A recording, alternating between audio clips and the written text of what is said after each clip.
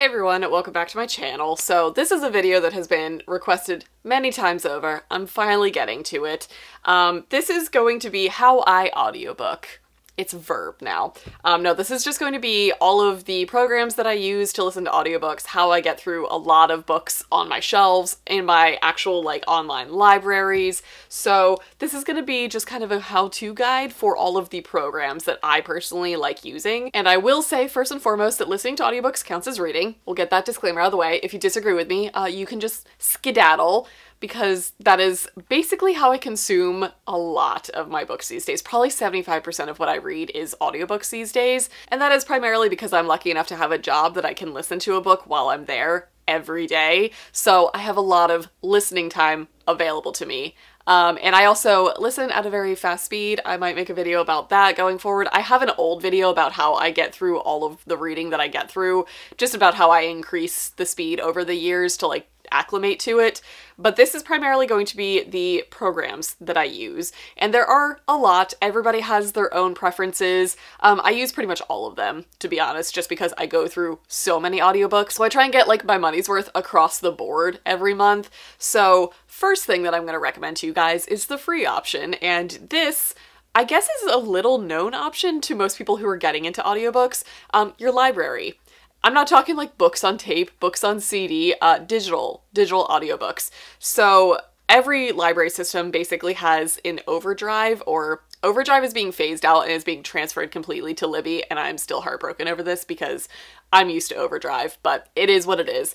Um, I think some library systems use Axis 360. I am not sure how like international library systems work and a lot of libraries also use Hoopla. So all of these things, I'm gonna try, and actually, you know what, I'll scooch over. I'll try and put things on the screen here. Um, so I primarily learned in Overdrive, so I personally browse on Overdrive, but I listen in Libby. It is the same program, um, and I believe as of like this year, they're going to be completely phasing out Overdrive and everything will be accessible on Libby.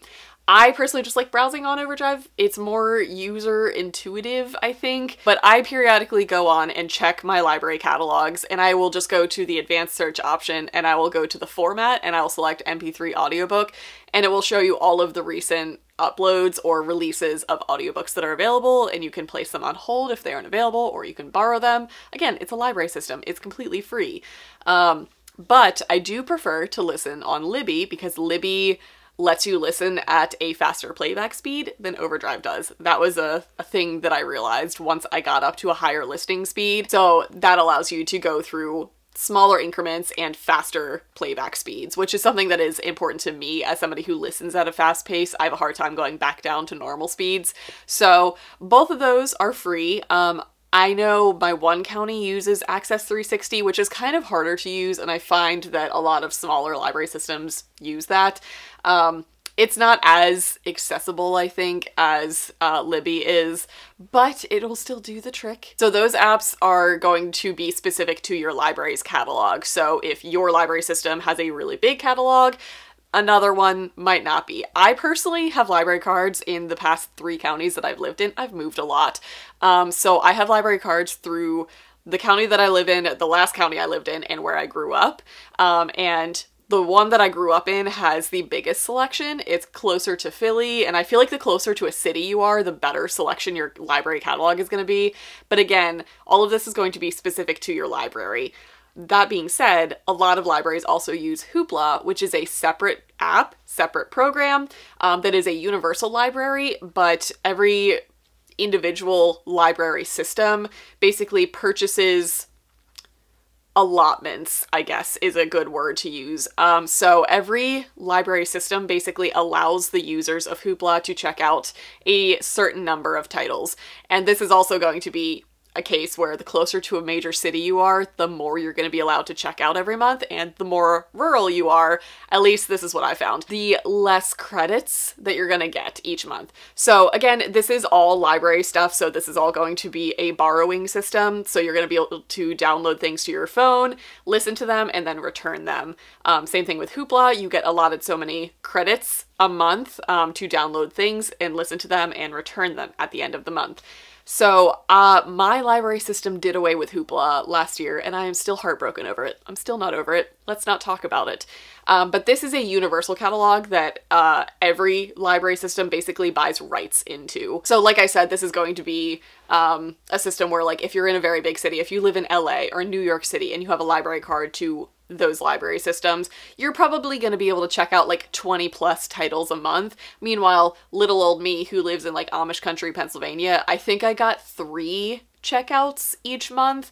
Um, and that was painful. But, uh, and then my library just got rid of Hoopla. They didn't want to spend the money to buy in those rights. So that is another free program to you guys. You basically have uh, almost unlimited access to all of these titles for free. So that is where I'm gonna push a lot of you guys to start with audiobooks before you start like investing money into it.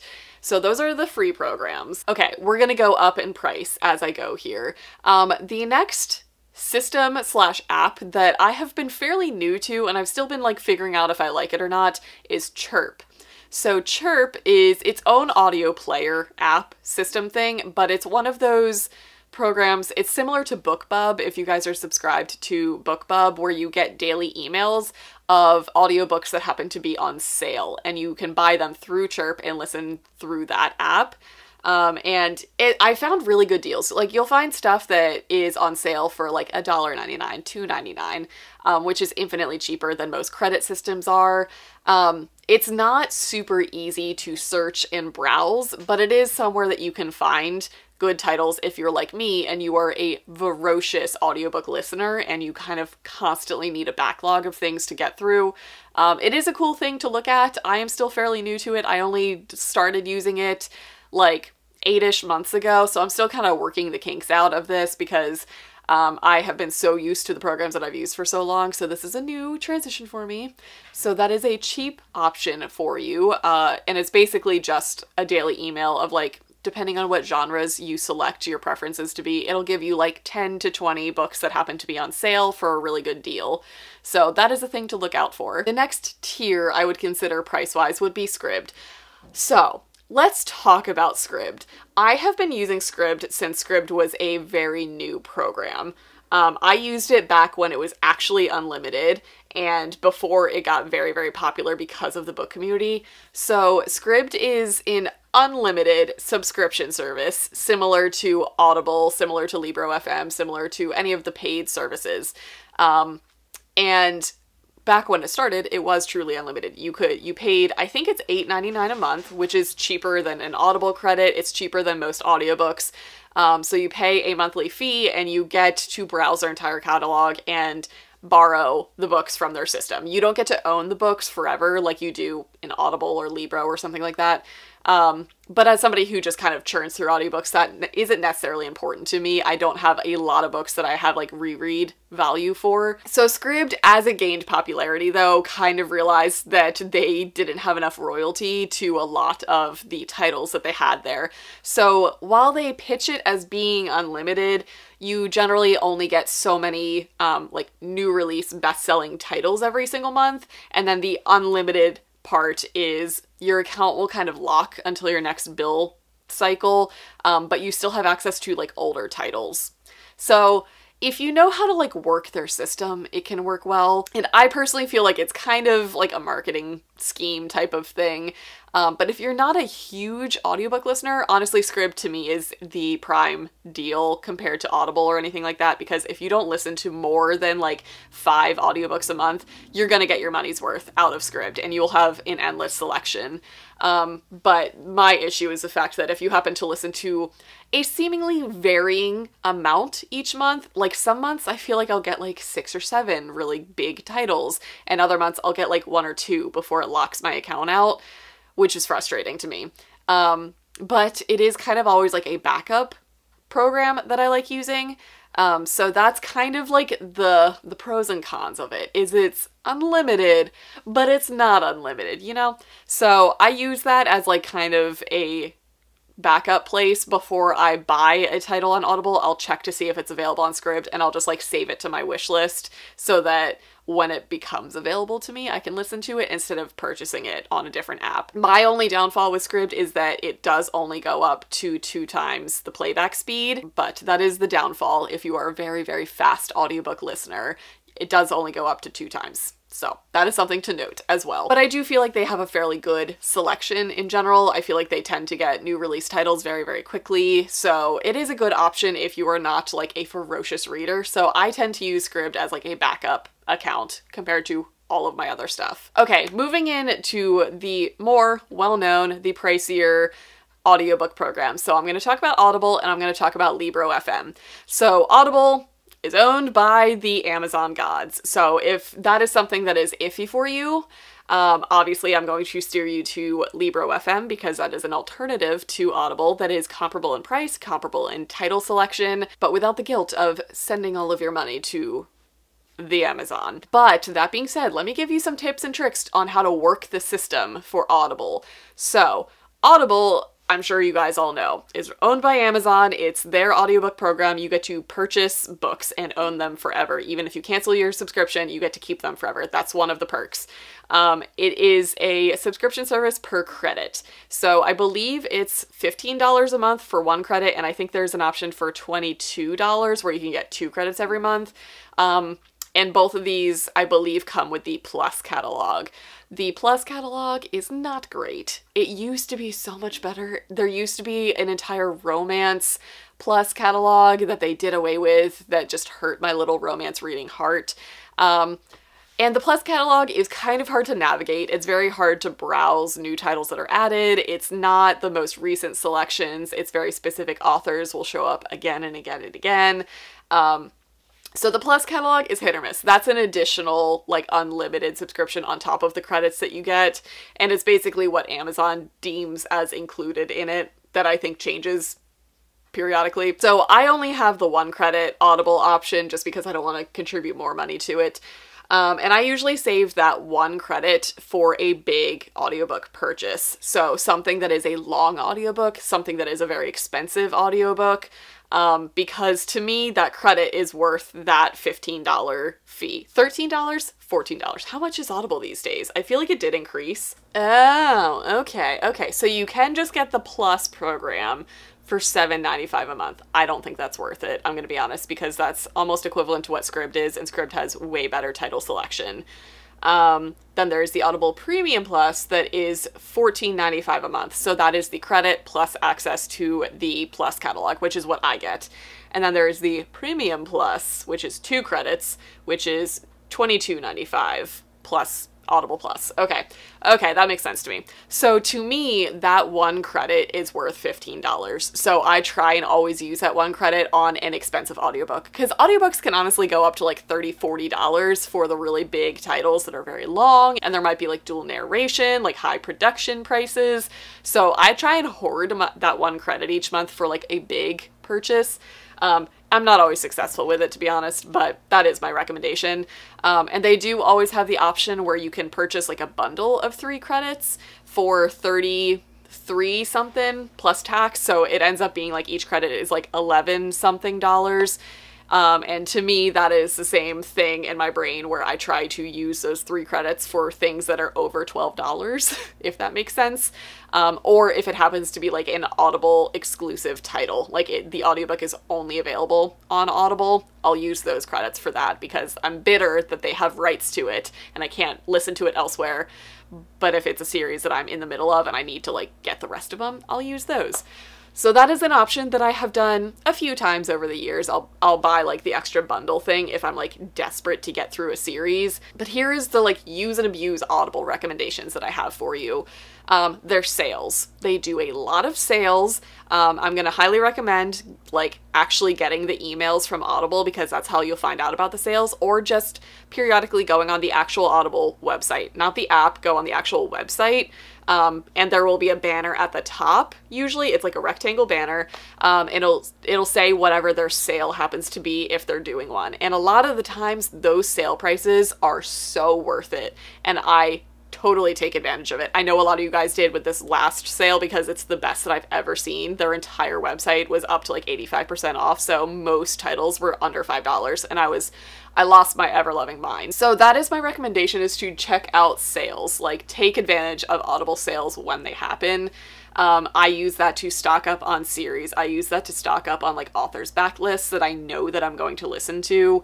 Um, and that is the main deal. I feel like a lot of times they will do series starting sales, so they will um, put a lot of like book one of a series on sale, and most of the sales will be around like $5.98 is like the common price. It'll range anything from like $10 down. Um, and that is to me way worth it. So this last sale that everything was like 85% off, I bought entire series for the price of like one credit because a lot of titles were on sale for like $3. So I bought like five books for the price of one credit, if that makes sense. So that's that was my logic for taking advantage of the sale. Yes, Amazon got a lot of my money and I'm not proud of that fact, but I got so many audiobooks and they're yours forever. Like even if you cancel your subscription, you get to keep those books forever. So that is the main perk of Audible, and that is how I'm going to recommend using and abusing. Um, they do daily deals. I get those emails, and a lot of the times it'll be very hit or miss because there are how many hundreds of thousands of audiobooks that exist in the world, and they will pick one to go on sale for a, a significantly cheaper price. It's usually around $5. Um, and sometimes it'll be up your alley. Most of the time it won't. But honestly, I have I have bought their daily deals sometimes because sometimes it happens to be an author that I really like. So that's my recommendation for Audible. Now, there is a way to technically exchange credits, but I'm going to kind of steer you guys away from that because they've gotten very, very stingy with their return policies. But you can return or exchange titles, um, and a lot of this will be just a preference thing. Like when you select why you're returning it, you can say, like, I didn't like the book, um, I didn't like the narrator, something was wrong with it, I bought it by mistake. And I've done that a few times over the years over books that I just, I DNF for whatever reason, and you can get that credit back, but Audible gets very, very picky with when they allow you to do that. And I feel like this year in particular, they took the rights away from a lot of people, even if you haven't returned anything recently. Um, and it's month to month. Like, I feel like some months I will be allowed to return titles, and other months the the ability has been taken away from me. So our Amazon overlords are getting very very picky about that program. So I'm going to recommend not using and abusing that part of it um, because they will ultimately like block your account if you abuse the system. Um, but there is an option to return books if something is wrong with it or if you really don't like the book. You can do it a few times, um, but just don't do it every single title. Like don't be like the person who like listens to a book, returns it, gets a new one, and just works the system.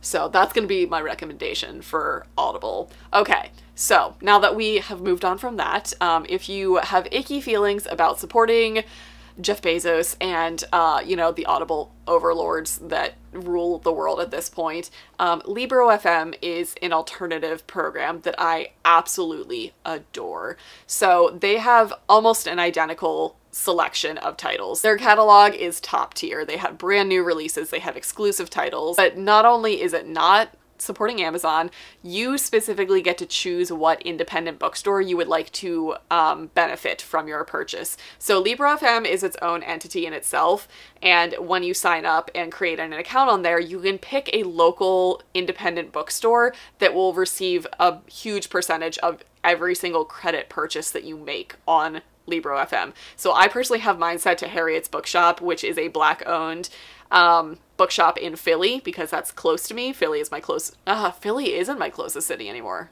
Philadelphia still has my heart though. That's like the closest city to where I grew up. So not only do you have like the feel good moment of like not supporting Amazon, but you also get to support indie bookstores, which is a vitally important thing in today's day and age where Amazon overlords are taking over everything. So in all honesty, I have been using Libro FM the most out of pretty much all of my audiobook programs because I feel so much better supporting them and knowing that Harriet's Bookshop gets my money with every audio sale. Like that is it's just a brilliant program. They also have an influencer program for any of you guys who are booktubers or bookstagrammers. They do have an influencer um ALC. It's an audiobook loaning system where you get early copies to review of like upcoming releases and those copies also go in support of whatever bookstore that you have selected on your account. So that is just a cherry on top for me personally. Um, so I totally recommend Libro. I feel like their catalog is almost identical to Amazon's.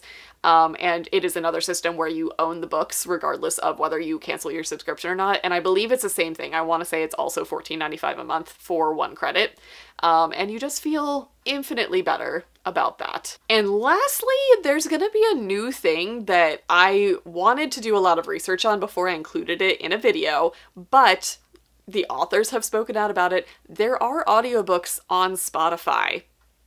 That's a thing that exists. I didn't really realize that that was a legal thing, but Spotify does buy rights to certain audiobooks. So Neon Gods, I know for a fact is on there by Katee Robert. That's a really big BookTok book that's very popular. It's a Hades and Persephone spicy romance book. So that is available on Spotify. And I know that Katee Robert herself spoke out and said, yeah, it's legit. It's not a pirated copy. You can listen guilt free. So that is also an option. If you happen to also listen to music on Spotify, you can find audiobooks on there that's a thing.